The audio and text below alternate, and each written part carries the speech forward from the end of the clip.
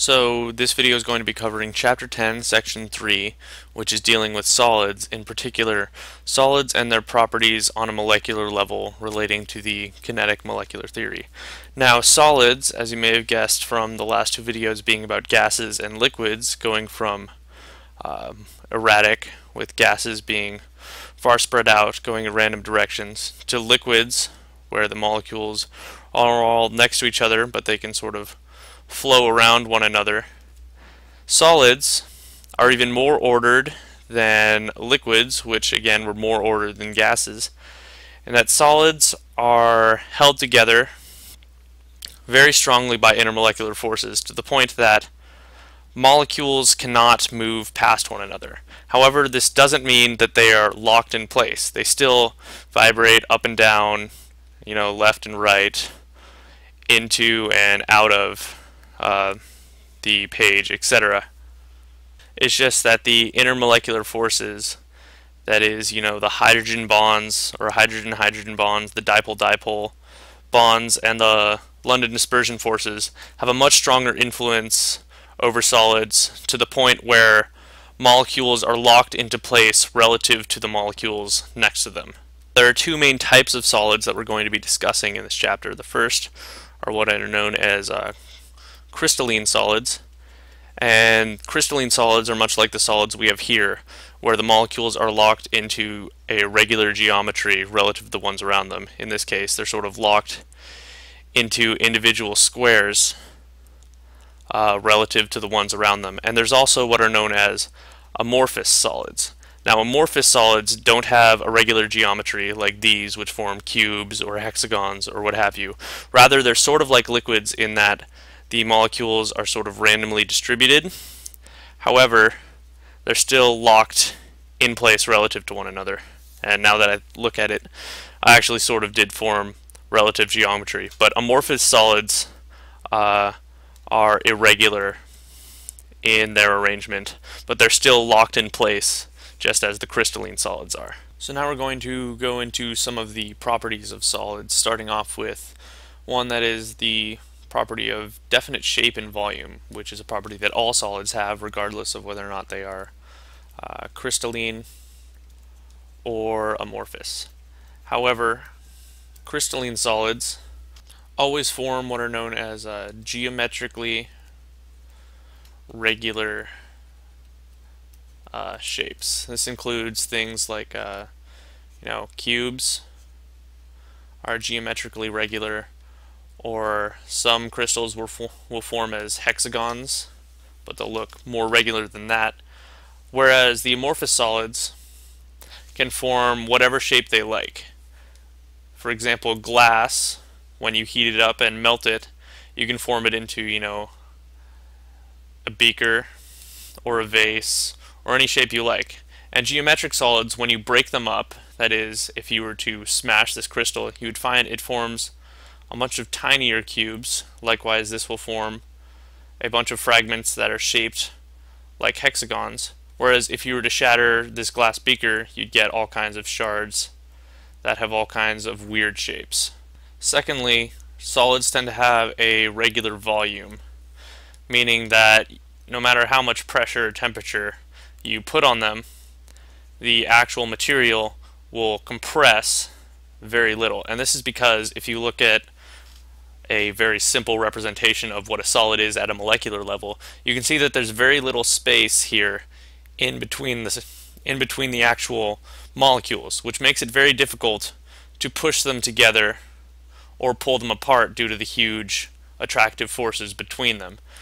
And this means that the solids will, for the most part, tend to maintain their shape, whether it's you know, beakers or plastics in the case of amorphous solids or maintain their crystalline shape in the case of crystals. A second property of solids is the definite melting point. Now this applies more to crystalline solids than it does to amorphous solids.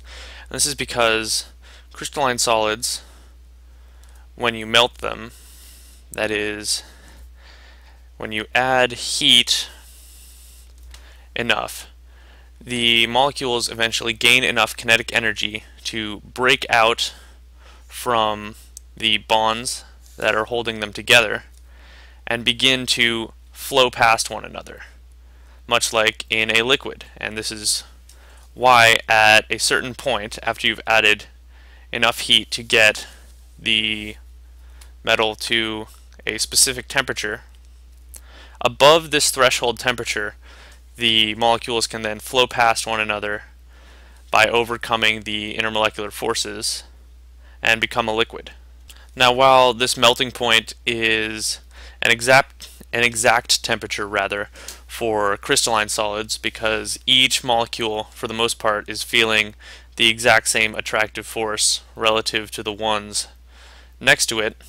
In an amorphous solid where the molecules are sort of distributed randomly but still bonded together, uh, they can flow over a variety of temperatures. So it's not a certain threshold temperature that the substance gets to, and then once it gets above that, it's a liquid, depending on the positions of the various molecules within the amorphous solid. What ends up happening is that some parts will begin to flow, that is, break free from the intermolecular forces, faster than other parts. And this is why amorphous solids, like glass, say, are sometimes called what are known as supercooled liquids. That is, they exert some properties of liquids like random position, and once you add enough temperature, eventually flow in some parts. However, in most of, or at least for most of the time, the glass will tend to stay locked in position. The molecules will stay together, but occasionally a molecule will gain enough energy to flow past another one, which is why they're somewhat liquid even in their solid states. Now we're going to talk about solids' uh, high density and their inability to be compressed. Now as I've il illustrated already many times, solids for the most part tend to have their molecules packed together almost with the electron clouds uh, touching and for this reason they're very dense. You get a lot more mass in a block like this per, per unit volume, let's say this square, than you do in a gas where everything's you know spread out and you get three molecules per unit instead of you know 12. Uh, the close proximity of atoms within solids also makes them very incompressible because again there's not a whole lot of space in between the atoms so it's very hard to push these two together due to the uh, repulsion of their electron clouds.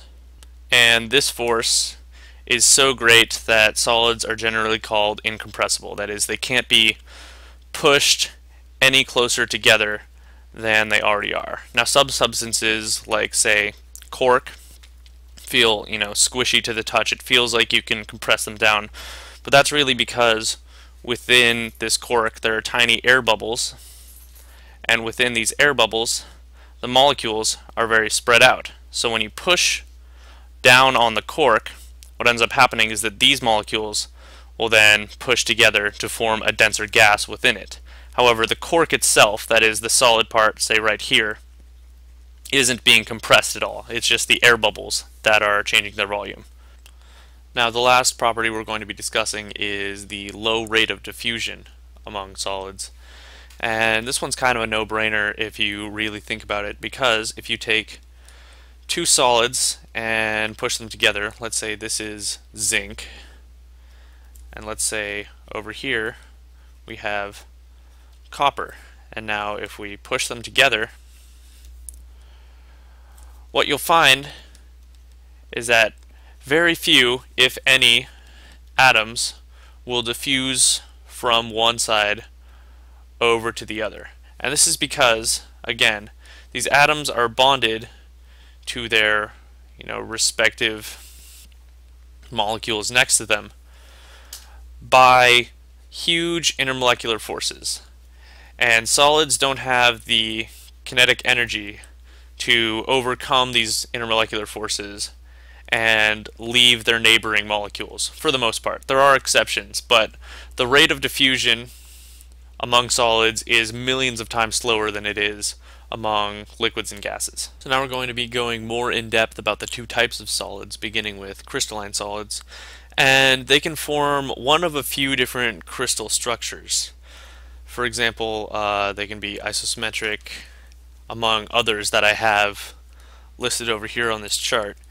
And what are interesting about crystalline solids is that you can take any one of these crystals, well obviously these are illustrations, but if you were to have an actual crystal that was say cubic, like this one right here, and you were to, you know, break it up, you would find that it's composed of smaller cubes. And then if you were to break that up, you would eventually get down to one cube that you could not break up into any further shape or any further crystals of the same shape. And this base crystal is what is known as a unit cell. And this is true for all the different crystal shapes. For example, you can get a hexagonal prism uh, unit cell that is the smallest possible hexagonal prism that you can form from this type of crystal. Just as precipitates and chemicals in solution can vary in their types of bonds, so too crystals can vary in the types of bonds. And we'll start off by describing the characteristics of ionic crystals. Now we've discussed ionic bonds before, and if you'll remember, ionic bonds tend to form a sort of lattice like we have illustrated here. And because of this reason, ionic bonds uh, tend to form crystals that are very hard and brittle with very high melting points. And this is because it's very hard to separate the actual unit atoms from one another when there's a strong positive and negative charge associated with the end of each molecule. Next we have what are known as covalent network crystals. And this category contains what is perhaps the most famous crystal, and that is diamond. Now diamond is written by the formula CX, where X would be the total number of carbon atoms within the diamond. However, it's very difficult to count each individual atom, so it's just given this formula for convenience. Now, covalent network crystals, like diamond, are composed of atoms, each of which are covalently bonded to the ones next to them. And this means that electrons sort of flow around almost anywhere in the crystal that they want. Obviously, it balances out evenly between the crystal, because if you ended up with one end that was strongly negative or strongly positive, then the electrons would rush to this end or run away from that end. However, this uh, sort of flow of electrons and mutual covalent bonds between all the atoms within the crystal means it's very hard to separate individual atoms, which means that Covalent network crystals, much like the ionic crystals, tend to be very hard. In fact, diamond is the hardest substance we know about. Metallic crystals, which are the next type of crystal we're going to be covering, are composed of metal nuclei surrounded by a sort of sea of electrons just sort of floating about around these nuclei attracted by their positive charge. However, because these electrons aren't associated with individual nuclei, they sort of belong to the crystal as a whole. So there's a bunch of, you can imagine just a sea of free electrons. And this means that if you were to put a voltage uh, difference across this uh, metallic crystal, what would happen is these electrons would be able to flow very easily, forming a current, and this is why metallic crystals tend to be very good conductors. Finally, a covalent molecular